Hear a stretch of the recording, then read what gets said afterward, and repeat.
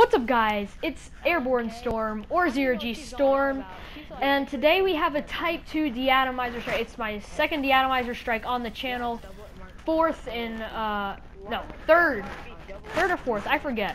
Third or fourth um, on the game. Obviously throughout the summer I've gotten a lot better at it. This is like my second deatomizer in like five days and I've been like a couple off.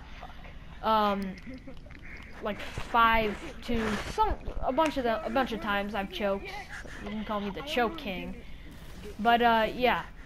So this is my first game with the Type 2 Atomic. I wasn't. I was. I was debating whether I should buy it or not because I was good with the Type 2 and I had the Enforcer Mark 2. But I was like, you know what? I'm gonna go and get it. And uh, yeah, first game on Precinct, I get it, and this is just insane. Um, I'm not gonna spoil the ending, but it was I'll give you a hint. It was pretty close, like, pretty close to the end. I got that, so.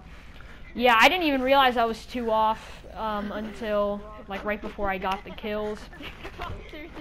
Um, yeah, but, uh, I, I enjoy bringing gameplays, and, uh, yeah, I hope you enjoy the video and the gameplay, and I hope to maybe bring a montage, or even just some more deatomizer videos, because, uh, yeah, they're a lot of fun to watch over from my perspective, and I'm sure it's really cool to see deatomizers from uh, your perspective. So yeah, enjoy the gameplay and um, sit back, relax, and uh, take it in.